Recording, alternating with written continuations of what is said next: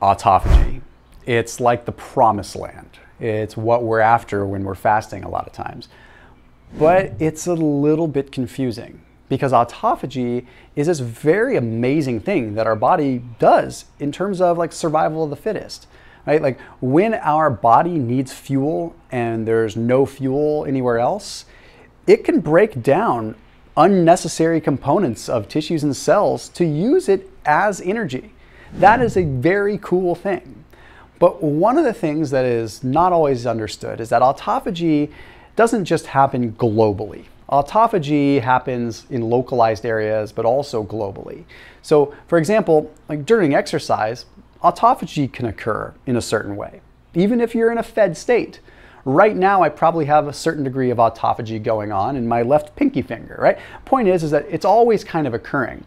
But it really is fascinating when it comes down to fasting, because fasting opens up a whole different world of autophagy because it is exacerbated. Now, I don't necessarily agree with the over inflating the power of autophagy that some people really talk about with fasting, but I will say that it is a separate discussion. Autophagy in normal functioning life outside of fasting and autophagy during fasting. They're almost two separate discussions that really shouldn't be blurred. Now, autophagy is a very powerful thing. And what I want to discuss on this video is, does one single calorie disrupt autophagy? The short answer is, in a lot of ways, yes. Okay, and I have a tremendous analogy to break it down. So let's go ahead and get into it.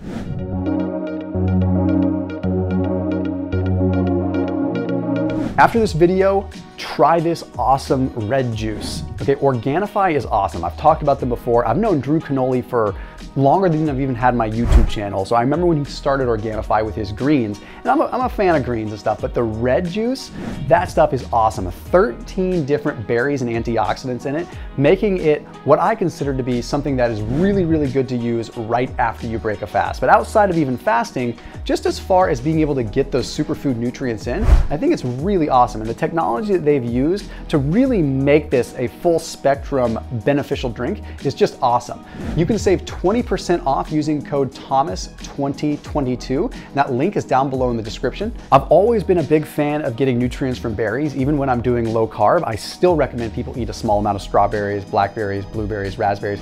They're lower carbohydrate, lower glycemic, and the cool thing is, is that this Organifi red juice uses berries predominantly. So I found that because of the berries, possibly because of the antioxidants, I just get a nice little boost. I feel like if that sort of 2.30 p.m. feeling kind of rolls around, having a scoop of this, which only has a couple of calories, is much better off than trying to go for like a sugary beverage or honestly even something caloric that would otherwise give me energy. It also uses beetroot powder, which I'm a big fan of beets, especially when it comes down to like nitric oxide production within the body. So tremendous if you want to have it a little bit before a workout and get sort of a natural pre-workout effect with a little bit of that nitric oxide vasodilation effect, which is super, super cool. Also, they're using adaptogens in there too. I'm a big fan of adaptogens like reishi, like cordyceps, which are being talked about all over the place now. Anyway, that link is down below in the description. Save 20% off using code THOMAS22 on Organifi Red Juice. So it comes down to three things. Autophagy, mTOR, particularly mTOR C1, and AMPK. Now at first, this video is going to sound very basic and simple, but I want it to be that way because as we increase sort of the scientific subject matter part of it, I want you to be able to follow along, okay? So when we are in a fasted state, we have an increase in what's called AMPK activation. And I've covered this to the nth degree on other videos, but AMPK is an energy sensor. And what that means is like when we are not consuming food, AMPK elevates, activates. When we are exercising, AMPK activates. Because what AMPK does is it recognizes when the energy demand, the demand for energy, is greater than what's available. So if I go out for a run right now, even if I had already eaten, if I really exercise hard and my energy demand is greater than what's available in terms of fuel, AMPK is going to activate. Now, in the same coin, if I am fasting and I haven't eaten anything, my body's out of fuel, so AMPK activates. AMPK is an autophagy accelerator. So here you can see the implication that even exercise can induce autophagy. Anytime we're accelerating the activation of AMPK, we are streamlining the route to the promised land of autophagy. But there's a gremlin that stands in the way. This big ugly gremlin, his name is mTOR, okay? mTOR C1. But before we get mad at this gremlin, let's think about what this gremlin does. He's like a troll. This troll builds bridges. And that's why he gets so mad about the bridges getting crossed all the time, because he builds them. He's a really good builder. mTOR is a builder. mTOR builds memories in the hippocampal region of our brain. mTOR literally signals to build muscle and to replenish and to grow and to regenerate. It is so important. So this troll, although grumpy, he is gardening things and he is growing and he is creating life and he's creating beautiful bridges. Okay?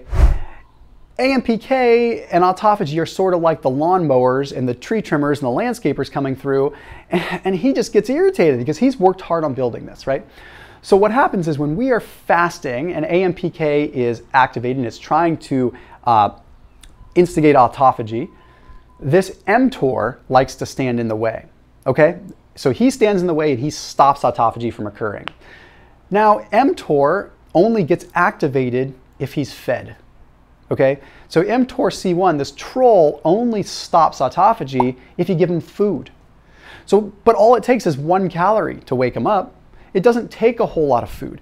So that's kind of the point. Now, the other analogy that you can look at is like a domino, and this makes it very simple, is when we are fasting, think of having a bunch of dominoes. And if we knock over that string of dominoes and we get to the end of the domino chain, we've activated autophagy, okay?